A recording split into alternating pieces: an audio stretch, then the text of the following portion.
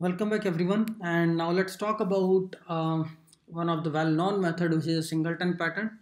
So here we again having this IIFE block.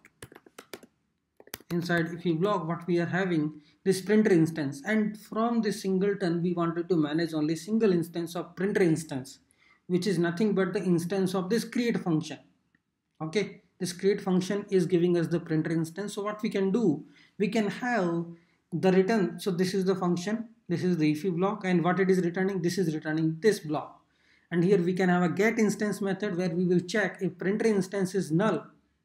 Is not null. Return the printer instance. Otherwise create call the create method and get the printer instance which is nothing but the turn on. This create method what it is doing? It is giving us this object.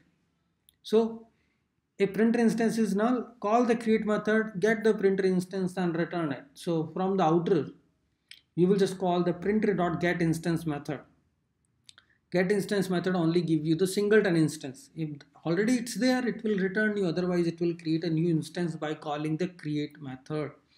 This is one of the popular in all the programming languages, the singleton. Singleton, the names itself is saying, okay, I will manage only single instance throughout the session. Okay. Thanks everyone. This is all about uh, the design patterns and all. Now I may be covering some ES6 core features